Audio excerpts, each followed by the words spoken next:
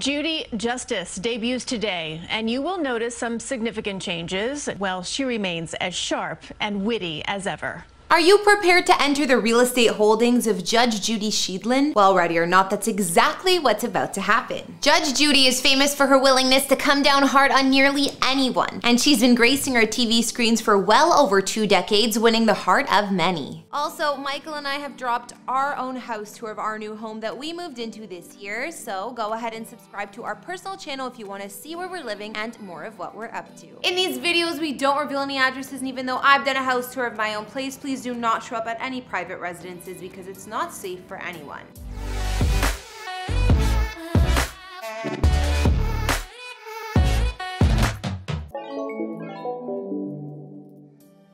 In fact, after a total of 25 seasons, her legendary series brought in an average of around 10 million viewers a day, making her a major Hollywood success story to the tune of a $440 million net worth. If I knew a judge could make that kind of money, I would have paid a lot closer attention during my high school civics course, I can tell you that. Of course, Judy knows exactly how to invest that money as well. Take for instance her recent decision to scoop up this beautiful Newport, Rhode Island home. Judy bought the place in July of 2018, and according to a press release from the Newport Daily News, her brand new estate that overlooks the ocean side is one of the highest priced property sales in Rhode Island, coming in at $9 million. The original owner of the estate, Campbell Soup heiress Dorrance Hill Hamilton, originally listed the property for $12.5 million. But following her death in 2013, the price of the property would reduce significantly over the years. Eventually, Judy swept in to buy the nearly 15,000 square foot home, making it hers permanently. The six bedroom, eight bathroom residence boasts a number of highlights that include a two story entrance hall, as well as a living room with a floor to ceiling stone fireplace that needs to be seen to be believed and is finished off with some classy wood paneled walls. Her kitchen has been crafted with custom made cabinets and a kitchen island that offers both a marble countertop as well as a butcher block section. There's even a raised area for breakfast bar seating and only a few feet away from there is a charming breakfast nook surrounded by wraparound windows. Whenever Judy's looking to relax and unwind after a long day of work, she has her fair share of options to choose from. Either her gorgeous wood paneled study with a cozy looking fireplace, or in her uniquely decorated emerald green dining room. And when it comes to her new bedrooms, the most fascinating thing about them is definitely their use of wallpaper. The master suite has been done up in all yellow everything, while guests can take their pick from a pair of rooms that channel the greenery of the property's surrounding forest. Installed elsewhere is state-of-the-art technology including geothermal heating and cooling in the floors, as well as an elevator. And over in her gorgeous backyard, you'll discover not only an outdoor kitchen, but a sheltered sitting area and a small-sized pool set directly into the deck. Basically, what I'm trying to say is no expense was spared in the creation of this beautiful sanctuary. Then again, the same could easily be said for all of Judy's numerous homes. And if her honor ever feels like decamping somewhere else, well, it's not like she doesn't have choices, some of which reside down south in Naples, Florida. Back in 2005, Judge Judy and her hubby, Judge Jerry, bought themselves a Gulf front penthouse pad in Naples, Florida for a grand total of $6.9 million.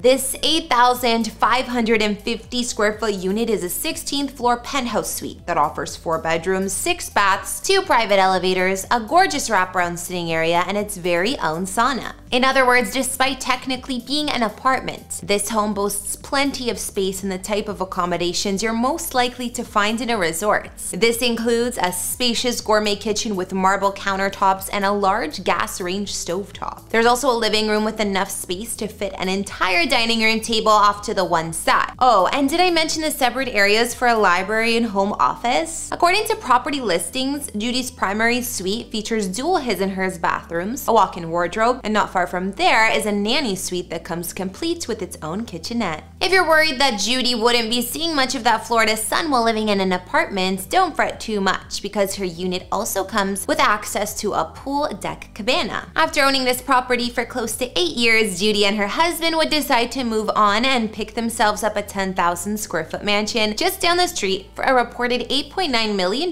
after listing their previous penthouse for a bit more than that, 11 million to be exact. Now, there's less known about this new property than her penthouse, but reports suggest the home boasts six bedrooms and 11 baths with a comfortable and cozy living room that includes a wet bar in the back. Other unique highlights are said to include a black marble floor foyer with a gigantic central staircase, as well as a professional grade kitchen with a breakfast bar and massive islands. Then there's the exterior, which features a lush landscaped backyard with not one, not two, but three waterfalls, a spa, and an elegant gazebo located next to a lagoon style pool. Pretty nice, right? And yet neither of these Florida properties or her new home in Rhode Island are Judy's main residence. For that, we have to travel to Greenwich, Connecticut. For the past decade and a half, Judge Judy's home base has been her gorgeous stone mansion, situated on 12.5 acres in the extremely affluent Greenwich, Connecticut. Property records suggest that Judy bought the estate back in September of 2007 for $13.2 million.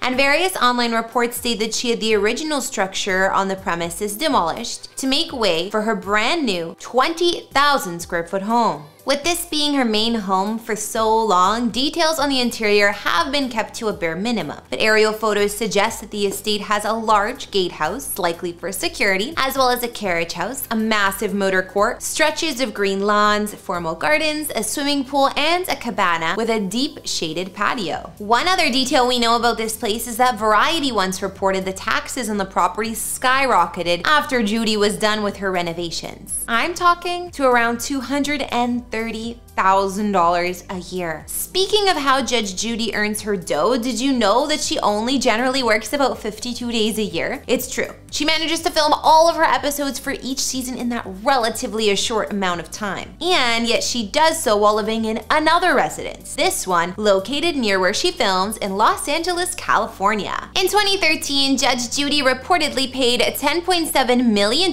for a 4,680 square foot apartment in Beverly Hills. Boasting five bedrooms as well as three and a half bathrooms, this unit is located inside the swanky building once known as Montage Beverly Hills. Judy's home away from home is said to feature top of the line amenities, not the least of which are the seven balconies scattered about the property and four underground parking spaces. The floor plan included with online marketing materials for the small number of apartments here suggests that Judy's new upper floor unit is entered through a long L-shaped foyer. Not far from there is a coat closet, a powder room, a petite library, as well as a much larger temperature-controlled walk-in wine cellar. There's also a 42-foot long living room with a fireplace that leads out to a narrow balcony with low-rise panoramic views of the city, mountains, and sky. The formal dining room also opens up to a balcony which connects through a kitchen that comes well equipped with a center work island and walk-in pantry. Back in the living room, a set of double doors open to a bedroom slash den, while a second set of double doors leads to the bedroom wing, where two bedrooms share a sizable bathroom. The master suite occupies a prime position at the tail end of the hall and boasts a pair of roomy walk-in closets, and a spacious bedroom with direct access to another balcony. Meanwhile, the attached bathroom is a couple of sinks with a makeup vanity, a separate tub and stall shower, as well as his and hers toilet cubicles. Last but not least, there's a guest suite that provides visitors with a mini balcony of their own, as well as a walk-in closet and a private bath. In case you're wondering, Montage Beverly Hills is now referred to as the Maybourne Beverly Hills, and it offers residents an army of discreet staff to cater to their every need, including well-connected concierge and super deluxe amenities such as a spa and fitness facility, even a rooftop swimming pool. There are also five-star hotel services like room service and housekeeping. As an added bonus, security is said to be extremely tight. So there you have it, the many properties of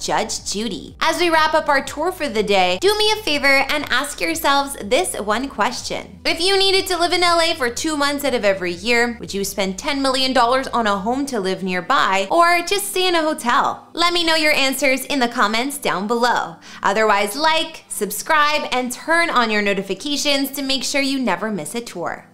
My name is Kara the Vampire Slayer. Follow me on Instagram to chat more, and I will see you all in another video. Bye!